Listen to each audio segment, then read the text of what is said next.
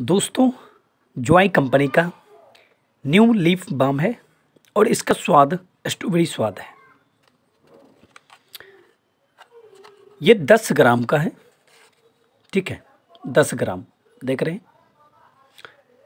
और इसका जो मार्केट प्राइस है, वह है पैंतीस रुपया अगर आप मार्केट में ख़रीदने के लिए जाओगे तो यहाँ आप देख सकते हैं, पैंतीस रुपये लिखा गया है और ये दस ग्राम का है, ठीक है।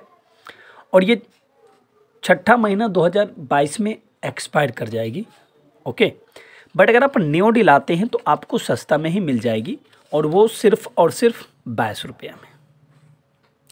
पैंतीस रुपया इसका एमआरपी है और आपको न्यू डील में मिल रही है बाईस रुपया में।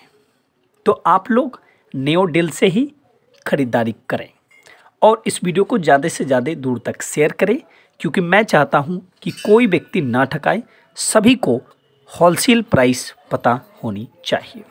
और इसी प्रकार की वीडियो को देखने के लिए मेरे चैनल को आप लोग सब्सक्राइब ज़रूर कर लीजिएगा।